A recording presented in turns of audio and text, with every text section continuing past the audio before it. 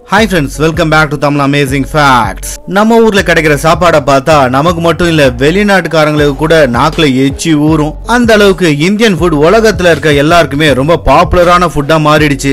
இதை கேட்கும் போதே மனசு ரொம்ப சந்தோஷமா இருக்குல்ல? ஆனா இன்னொரு பக்கம் உலகத்திலேயே செவன்த் சீப்பஸ்ட் கண்ட்ரின்னு சொல்லப்படுற சவுத் கொரியால ஒரு கப் ஆஃப் டீ எவ்வளவு தெரியுமா? முன்னூத்தி மூணு ரூபாய் அதுவே கொஞ்சம் ஆஸ்திரேலியா பக்கம் போனா அங்க பானிபூரியில இருக்க ஒரு பூரி எவ்வளவு தெரியுமா? எண்பத்தஞ்சு ரூபா. அதாவது ஃபுல் பிளேட் பானிபூரி வாங்கினா உங்ககிட்ட ஐநூறு ரூபா இதெல்லாம் ஒண்ணுமே இல்ல. ஏன்னா யூகேல போன வருஷமே இந்தியன் ஃபுட்ஸ் எல்லாத்தோட ரேட்டையுமே கிட்டத்தட்ட 50% பர்சன்டேஜ்க்கும் அதிகமா ரேட் ஏத்தி வச்சுட்டாங்க. ஏன் யூகேல இந்தியன் ஃபுட்ஸோட ரேட்டை இவ்வளவு ஏத்தி வச்சிருக்காங்க? அதே மாதிரி உலகத்துல இருக்க மத்த கண்ட்ரீஸ்ல இந்தியன் ஃபுட்டோட ரேட் என்ன? இத பத்தி டீட்டெயிலா தெரிஞ்சுக்கிறதுக்கு இந்த வீடியோவை ஸ்கிப் பண்ணாம ஃபுல்லா பாருங்க. பார்த்து முடிச்சிட்டு பிடிச்சிருந்தா மறக்காம இந்த லைக் பண்ணுறேன் தட்டி விட்டுருங்க. ஆஸ்திரேலியா. நம்ம ஊர்ல வடா பாவ் அப்படின்னு ஒன்று விற்கிறாங்கல்ல அதை இருபது ரூபா கொடுத்து வாங்குறதுக்கே அழுவுறீங்களா?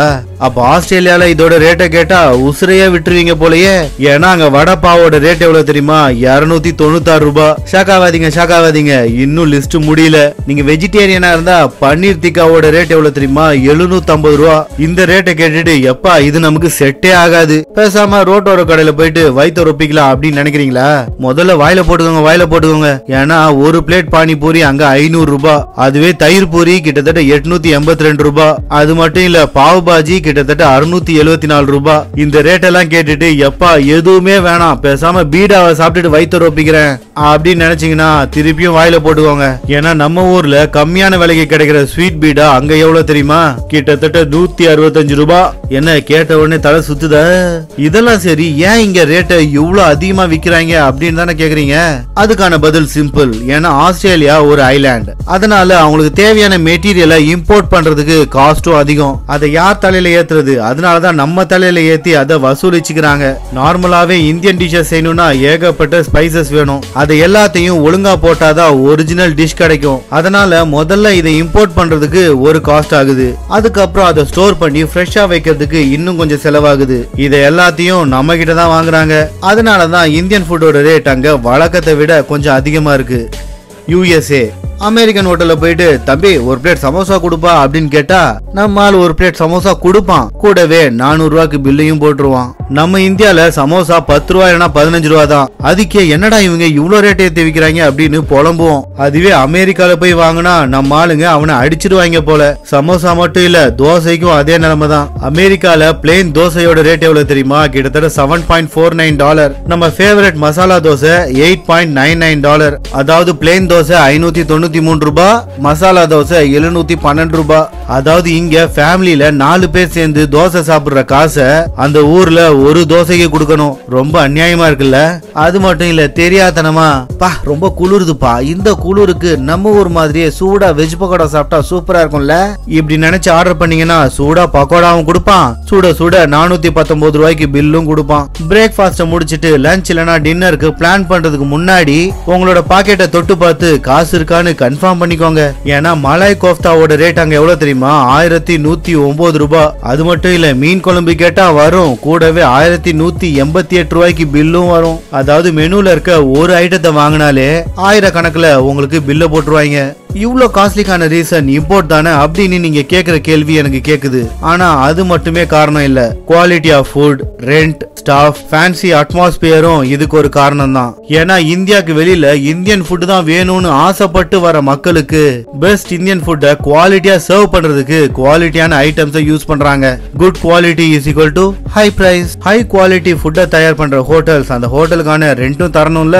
ஏன்னா நம்ம ஊர்ல ரோட்டோர கடையிலேயே குவாலிட்டியான ஃபுட் கிடைக்கிற மாதிரி அங்க கிடைக்காது. ஹோட்டலுக்கு அடுத்தது அங்க வேலை செய்யற ஸ்டாஃபுக்கு சேலரி கொடுக்கணும். அங்க இருக்க அட்மாஸ்பியரை பயங்கர டெக்கரேட்டிவா கிளீனா வச்சுக்கணும். இதுக்கெல்லாம் காசு எக்கச்சக்கமா செலவாகும்ல.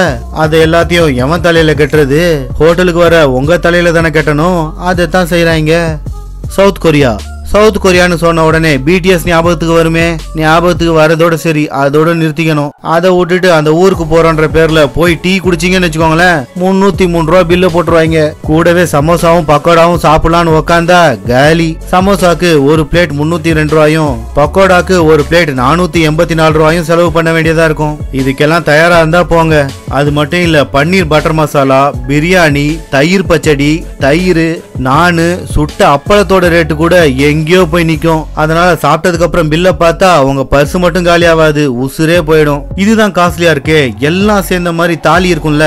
அதாவது samosa veg gravy non veg gravy சாப்பாடு நானு குலாப் ஜாமுன்லாம் அது ஒன்ன சாப்பிட்டே டெய்லி என் வாழ்க்கையை ஓட்டிப்பேன்னு நினைச்சா அதோட ரேட் எவ்வளவு தெரியுமா? ஆயிரத்தி முன்னூத்தி தொண்ணூத்தி மூணு ரூபாய் இது நார்மல் இந்தியன் தாலியோட ரேட் தான். ஸ்பெஷல் தாலியோட ரேட் எவ்வளவு தெரியுமா?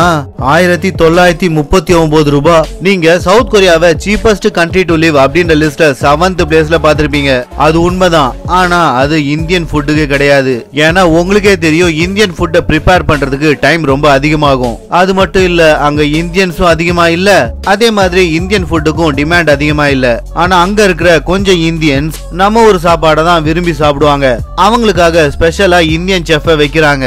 இவருக்கு எக்ஸ்ட்ரா பேமெண்ட்டும் தந்தாகணும். ஏன்னா நான் ஏற்கனவே சொன்ன மாதிரி ஆத்தென்டிக் இந்தியன் ஃபுட்டை தயாரிக்கிறதுக்கு டைம் ரொம்ப அதிகமாகும். அது பொறுமையா செய்யணும்னா நம்ம ஆளுங்களால தானே முடியும்? ஸ்ரீலங்கா. ஸ்ரீலங்கால ஏகப்பட்ட அற்புதமான பல விஷயங்கள் இருக்கு. ஆனா கோவிட் வந்து மொத்த நாட்டையுமே தலைகீழா மாத்திருச்சு. இப்ப ஸ்ரீலங்கால விலைவாசி எங்கேயோ போயிட்டு இருக்கு அது எல்லாத்தையும் நீங்க கேட்டீங்கன்னு வச்சுக்கோங்களேன் உங்களுக்கே தலை சுத்திரும். எக்ஸாம்பிளுக்கு நம்ம ஊர்ல பத்து ரூபாய்க்கு கிடைக்கிற லேஸ் பாக்கெட் ஸ்ரீலங்கால நூத்தம்பது ரூபாய் அப்ப மத்த ரேட் எல்லாம் எப்படி இருக்கும்னு நீங்களே கொஞ்சம் நினைச்சு பாருங்க.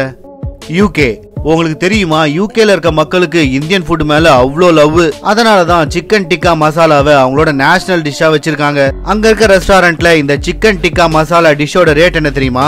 டுவெல் பாயிண்ட் ஃபைவ் டாலர் நம்ம ஊர் காசுக்கு கிட்டத்தட்ட ஆயிரம் ரூபாய் அது மட்டும் இல்ல நம்ம ஊர்ல இருக்கிற எல்லா நான்வெஜ் ஐட்டம்ஸ் எல்லாமே அங்கேயும் கிடைக்கும். நம்ம ஊர்து மட்டும் இல்ல south to north east to வெஸ்ட்னு இந்தியால கிடைக்கிற எல்லா டிஷ்ஷஸும் அங்க கிடைக்கும். ஆனா என்ன ரேட்டு தான் ரொம்ப அதிகம். ஒரு டிஷ்ஷோட ரேட் டுவெல் பாயிண்ட் நைன் ஃபைவ்ல இருந்து சிக்ஸ்டீன் பாயிண்ட் ஃபைவ் டாலர்ஸ் வரைக்கும் விற்கிறாங்க அதாவது நம்ம ஊர் காசுக்கு ஆயிரத்துல இருந்து ஆயிரத்தி முந்நூறு ரூபாய் கொடுத்து ஒரு டிஷ்ஷை வாங்க முடியும். அதுலயும் அந்த ஊர்ல கிடைக்கிற பிரியாணி இருக்கே. வாவ் வேற லெவல் ஆனா ஒரு பிளேட் பிரியாணியோட ரேட் எவ்வளவு தெரியுமா?